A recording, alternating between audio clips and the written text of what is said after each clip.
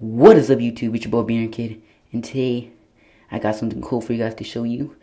While I was looking through the files of Minecraft Pocket Edition, like I was doing every update, I found something cool. I found there was files for chain armor, so I figured out, so I figured, you know, maybe I could find some a way to get chain armor, and there is a way to get chain armor in Minecraft version 0.6.0.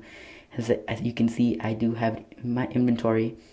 I can hold it, nothing happens, the game does not crash and the only way to get chainmail armor is of course not the leg- there's no legit way. You have to hack it in using imcp edit or hex edit it, it in any way you can think of. I don't know what other ways are there but i use imcp edit and the id is for the helmet is 302 for chestplate 303 leggings 304 and boots 305 i will put that in the link in the description i mean.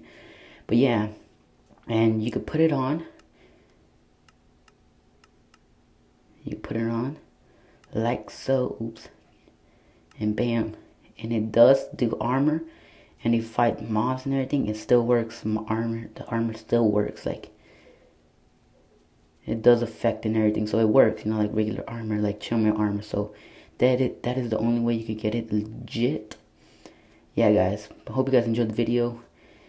And yeah Thanks for watching. Make sure to like like it, and I'll be looking out for more hidden things like these, and like hopefully like I can find more things. If not, then I guess that'll be it. But yeah, I mean if I do find it, I'll make sure to do a video as soon as I can.